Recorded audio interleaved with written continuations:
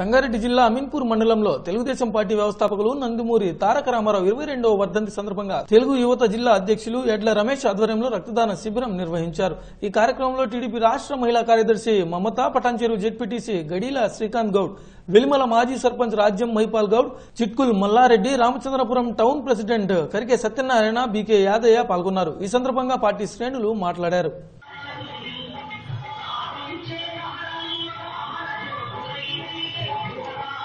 ఈరోజు రక్తదాన శిబిరం ఏర్పాటు చేయడం జరిగింది.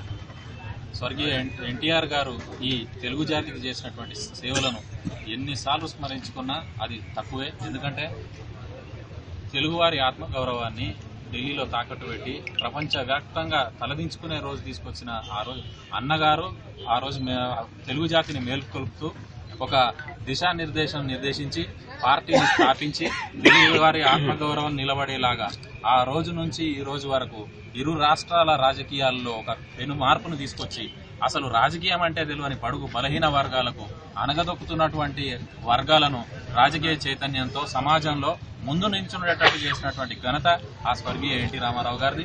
అయితే తెలుగు ప్రజలు భగవంతుడి స్వరూపంగా ఒక దేవుడిగా ప్రార్థించే ఏకైక నాయకుడు నంద అన్న నందమూరి తారక రామారావు గారు. ఆయన వర్ధంతి రోజున ఈ రోజు సమాజానికి ఏదన్నా ఒక మంచి చేయాలనే ఉద్దేశంతో ఇక్కడ అమీన్పూర్లో మంచి ఒక రక్తదాన శిబిరాన్ని ఏర్పాటు చేయడం చాలా అభినందించదగ్గ విషయం. రక్తదానం అంటే ప్రాణదానం. ప్రాణం పోయేటప్పుడు మనం ఎవరం కూడా భగవంతుడు చేయలేని పని అదొక్కటే. ఏంటంటే రక్తదానం ద్వారా తన మనిషి ప్రాణాన్ని కాపాడొచ్చు. ఇంకొక దేవుడిగా అవతరించే ఒక చక్కటి అవకాశం వచ్చే ఇంత మంచి కార్యక్రమాన్ని తీసుకున్నటువంటి సోదరుడు ఎడ్ల రమేష్ గారికి వారికి సహకరిస్తున్నటువంటి ప్రతి ఒక్కరికి ఇందులో పాల్గొంటున్నటువంటి రక్తదాన శిబిరంలో పాల్గొని రక్తదానం చేస్తున్నటువంటి ప్రతి ఒక్కరికి మా పార్టీ నాయకులకు కార్యకర్తలకు కూడా పెద్ద ఎత్తున తరలి వచ్చినందుకు ఎన్టీఆర్ గారిని పదే పదే స్మరించుకుంటూ ఇక్కడ జరుగుతున్నటువంటి రాజకీయ అనిశ్చితిని కానీ అదే రకంగా ఈ తెలంగాణ ప్రభుత్వం అవలంబిస్తున్నటువంటి ప్రజా వ్యతిరేక విధానాలను కానీ ఆయన స్ఫూర్తితో ఆయన వేసినటువంటి బాటలో ఆయన నేర్పించినటువంటి మంచి పనులను ముందుకు తీసుకుపోతూ జనాలలో పోయి జనాలకు మంచి చేయడం ఆయన నేర్పించిన విషయమే.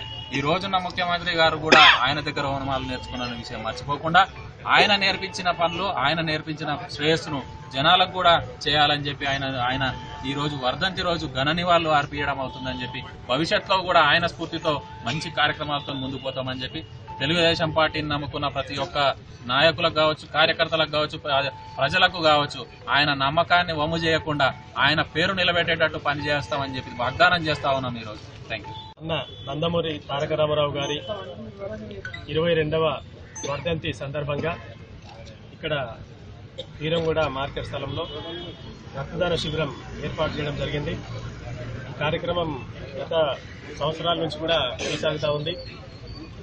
తెలుగుదేశం పార్టీని పెట్టి ఒక అంబేద్కర్ సిద్ధాంతాలను ఒక మహాత్మా జ్యోతిరావు పూలే సిద్ధాంతాలను వాళ్ళ సిద్ధాంతాలను తీసుకొని మరి తెలుగుదేశం పార్టీని ఏర్పాటు చేసి ఈ తెలుగు రాష్ట్రాలలో పేదవాళ్ళు అనే వాళ్ళే ఉండొద్దు. అట్టడుగు వర్గ అట్టడుగు వర్గాల వారిని పైకి తీసుకురావాలని ఒక కృత నిశ్చయంతో అన్న నందమూరి తారక రామారావు గారు తెలుగుదేశం పార్టీని స్థాపించి సంక్షేమ పథకాలు అంటే ఈ రాష్ట్రంలో సంక్షేమ పథకాలను పరిచయం చేసింది అన్న నందమూరి తారక రామారావు గారు. మరి అదేవిధంగా బీసీలకు భారతదేశంలో కూడా ఎక్కడ లేని విధంగా మరి బీసీలకు రిజర్వేషన్ పెట్టి బీసీలను కూడా పైకి తీసుకొచ్చినటువంటి ఘనత అన్న నందమూరి తారక రామారావు గారిది తెలుగుదేశం పార్టీ. ఉదాహరణకు మన గత శాసనసభ్యులు నందీశ్వర్ గౌడ్ అన్నగారు మరి ఆయన మండల వ్యవస్థ ఏర్పడినప్పుడు ఫస్ట్ బీసీలో మండల ప్రెసిడెంట్ అయ్యి తర్వాత ఒక ఎమ్మెల్యేగా ఒక పార్టీకి జిల్లా అధ్యక్షునిగా పనిచేసిందంటే అది నందమూరి తారక రామారావు గారి బీసీ రిజర్వేషన్ వల్ల. మళ్ళీ అట్లాంటి నాయకులు అంటే ఏ పార్టీలో ఉండొచ్చు. ఏ పార్టీలో ఉన్నా ఒక బీసీలు కానీ ఒక ఎస్సీలు కానీ గుర్తుంచుకోవాల్సిన నాయకుడు అన్న నందమూరి తారక రామారావు గారు. మరి ఆయనకు భారతరత్న ఇవ్వాలని చెప్పేసి ఈ సందర్భంగా తెలియజేసుకుంటా ఉన్నాం. ఆయనకు భారతరత్న ఇవ్వడం అంటే ఈ తెలుగు రాష్ట్రాలలో ఒక పేదవాడిని గుర్తించినట్టు ఒక బడుగు బలహీన వర్గాల ఆత్మ గౌరవమైనటువంటి అన్న నందమూరి తారక రామారావు గారిని గుర్తించినట్టు అని చెప్పి సందర్భంగా తెలియదు